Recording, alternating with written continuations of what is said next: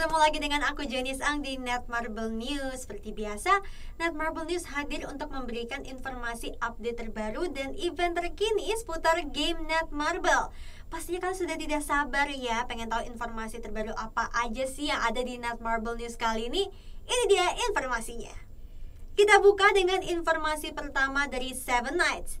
Pada minggu lalu kita sudah menyaksikan ya Hero Collaboration Street Fighter 5 yang bergabung dengan Seven Nights. So, kalian sudah merasakankah kehebatan skill dari Hero Street Fighter 5? Kalau belum, jangan sampai terlambat ya untuk mendapatkannya.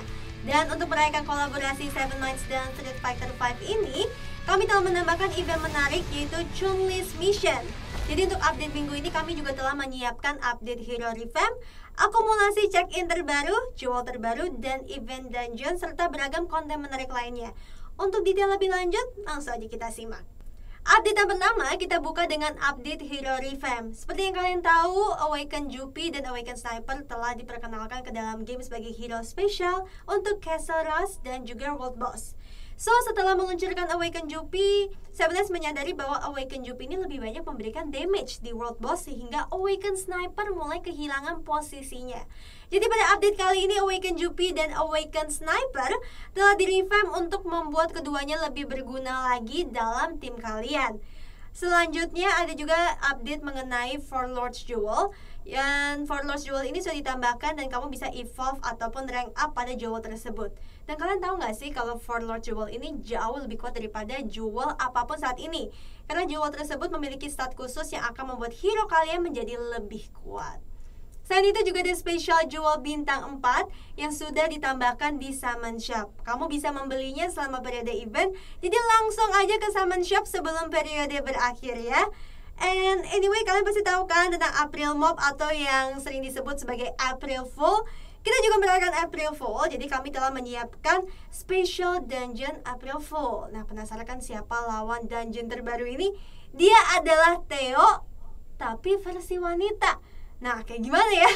Anyway, selain itu kami juga akan memberikan kejutan bos yang tidak terduga di Castle Rush pada hari Senin. Jadi nantikan ya siapakah kejutan bos itu. Dan yang terakhir ada fitur akumulasi check-in. Bila kamu melakukan check-in secara rutin, kamu bisa mendapatkan hadiah yang menarik. Tentunya semakin rajin kamu check-in, semakin bagus juga nih hadiah yang akan didapatkan. Bagaimana menarik bukan? Jadinya jangan lupa ya untuk ikuti terus event-eventnya dan raih hadiahnya sebelum periode berakhir. Selanjutnya, pada 28 Maret 2017 kemarin, Let's Get Rich merilis pendan baru yaitu S atau S Plus Happy Trampoline dan Sub Ability Honors Light.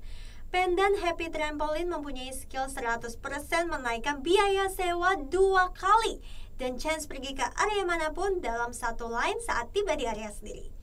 Selain itu juga ada event exchange yaitu kamu bisa mendapatkan popular pendant secara random dengan menukar party glasses.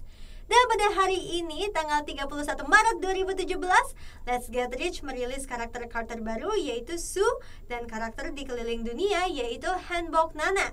Karakter terbaru Su mempunyai skill membangun landmark di area sendiri pada line yang sama. Selain itu, kamu langsung berpindah ke start dan mendapatkan tambahan bonus gaji.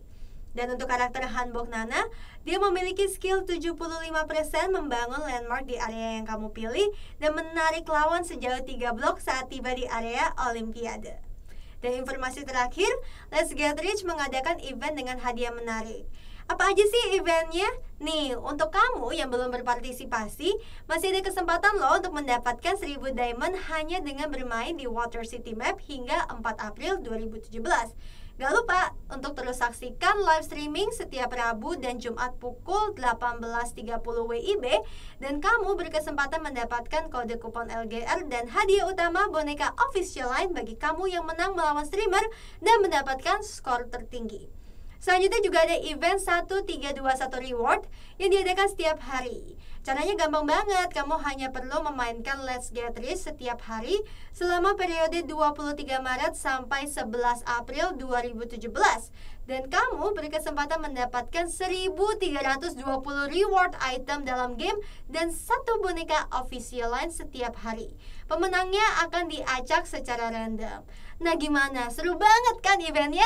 Jadi pastikan ya kamu mengikuti eventnya dan jangan sampai kelewatan untuk mendapatkan hadiah menarik mulai dari diamond, kupon, dan boneka official lain.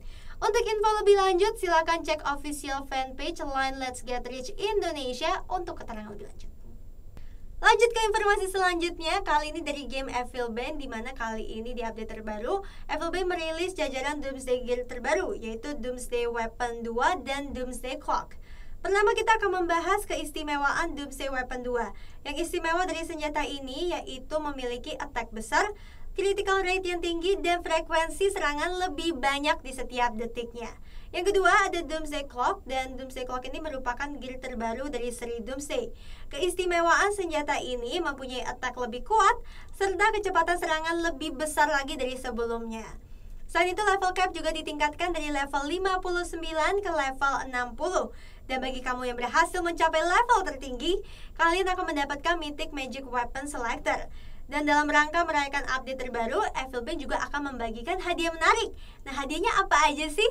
Bagi kamu yang sudah mendapatkan Doomsday Weapon 2, kamu hanya perlu menaikkan level Doomsday sampai level 30 dan akan mendapatkan hadiah 500.000 gold. Dan juga apabila kamu mendapatkan Mystic Doomsday Weapon 2 melalui draw, combine, ataupun upgrade, kamu berkesempatan untuk mendapatkan bonus Doomsday Weapon Ticket. Kamu juga bisa mendapatkan 10 Heaven Stone dengan cara menaikkan Doomsday Clock hingga level 30. Dan kamu juga berkesempatan mendapatkan bonus Heroic Doomsday Clock apabila kamu memperoleh Mystic Doomsday Clock dari Draw, Combine, ataupun Upgrade. Saat itu kamu juga berkesempatan mendapatkan salah satu magic weapon termasuk Doomsday Weapon 2 dan caranya mudah sekali. Kamu hanya perlu melakukan draw special weapon chest yang 11 kali. Dan juga kamu bisa mendapatkan salah satu dari Paladin, Annihilators, Frost, ataupun Doomsday Clock. Caranya juga sama ya. Seperti kamu mendapatkan Doomsday Weapon 2 Kamu hanya perlu melakukan draw special clock chest yang 11 kali.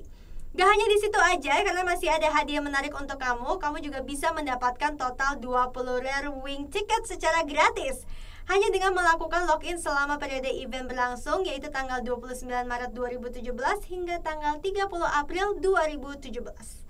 Oh iya, untuk bug pada Guild Battle dan Evasion sekarang sudah diperbaiki loh. Jadi langsung aja deh ajak teman-teman kalian untuk bermain Evil Bane lagi ya. Bagaimana? Menarik banget kan eventnya? So ikuti terus ya petualangan di kerajaan Serot di Evil Bane Rise of Ravens. Next untuk informasi selanjutnya datang dari Star Wars Force Arena. Sejak update minggu lalu, Star Wars Force Arena telah menghadirkan berbagai event menarik. Dan untuk merayakan perilisan DVD dan Blu-ray Rogue One Star Wars Story, kami telah menyiapkan beragam event. Di antaranya nih, yang pertama, Dimulai dari 24 Maret 2017 minggu lalu diadakan 7 hari lock-in event. Banyak banget hadiah menarik seperti Gold Pack, Premium Booster 24 jam, Crystal, Captain Cation Ender Card, Credit, dan Director Orson Chronic Card. Dan yang kedua, kredit dua kali event selama 24 jam. Event ini hanya berlaku pada hari-hari tertentu. Jadi jangan lupa ya dicatat jadwalnya agar bisa meraih kredit yang lebih banyak lagi. Untuk jadwalnya jenis kasih tahu nih.